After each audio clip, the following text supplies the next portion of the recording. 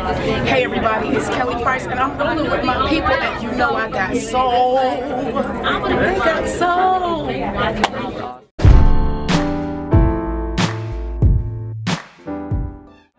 Kelly, so the new album is Sing, Pray, Love Volume 1 Yes. now. What inspired the project? life. Um, I was coming up on my 40th birthday and um, started thinking about my entire life and um, what I loved about it, what I wanted to change about it, and what I the next 40 years of my life to be like. And so music is how I always express myself and just out of nowhere these songs just started writing themselves really.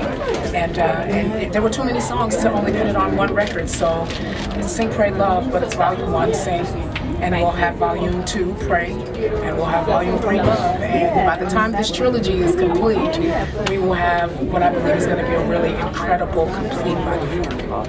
In the single It's My Time, Yes. Top five urban ACA radio. God. How huge is that, especially for an independent artist? to be able to achieve that? It is beyond huge. It's beyond huge.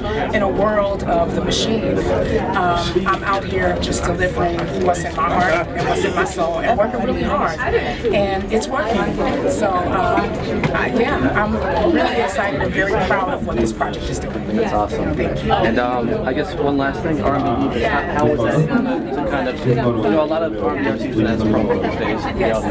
How Yes. does it help you to, to elevate your career? Oh my goodness, um, the show did not help me at all. It actually turned a lot of people against me, but that's okay. Um, I, but what it did do for me, it, it taught me a lot because television is something that I plan on doing a lot more of.